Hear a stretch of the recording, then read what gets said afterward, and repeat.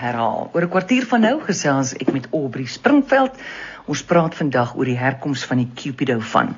Nou eers 'n uh, liefdesbrief vir Suid-Afrika van Stanley Sierenburg.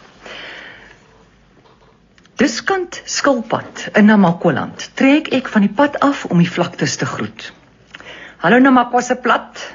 Gaan dit goed? Groet ek sommer so in die wind in. Uitgespaar hierdie genade, sê die madderliefies langs die pad. Ons leef daarom nog, sê 'n kat sterf aan die ander kant van die reguit teerpad.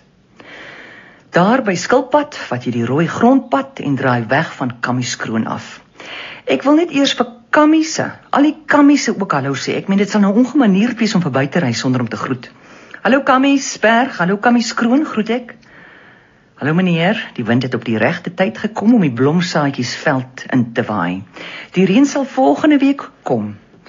Dit gaan 'n goeie blomme seisoen wees hierdie jaar, meneer, sê Kammieskroon. Dankie, sê ek en ry verder. Die rooi pad is lanklaas te geskraap. Hy is pure sinkplaat en groot klippe. Op die telefoondraad sit die dwergvalk en waai vir my. Dis die vroue se valk.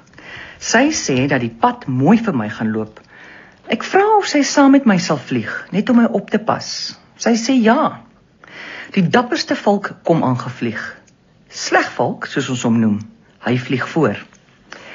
By die skerp draai net voor Wallekraal gaan sit slegvalk op 'n draad en draai sy kop weg en kyk vir die klipdassies. Hardloop weg, wil ek vir die dassies skreeu, maar die natuur is die natuur. Ek ry verder. By Wallekraal draai ek in. Daar's 'n hek om oop te maak. Ek maak hom oop en langs hom staan 'n paar botterblomme. Hallo botterblom, groet ek. Hallo, sê botterblom. Die mense is daar by die huis, gamma. Dankie sê ek vir maniere en ry die werf in. Die antie kom uit en sy groet en sy sê kom binne my mens, ek maak vir jou koffie. Die sideboard is vol prentjies en rampe met fotos van mense.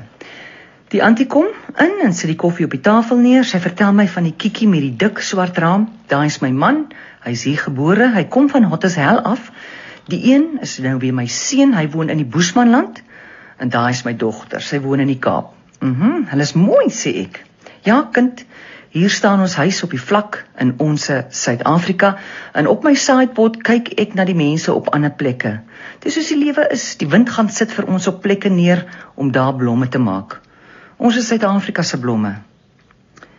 Ek kyk by die venster uit en daar glimlag die dwergvalk vir my.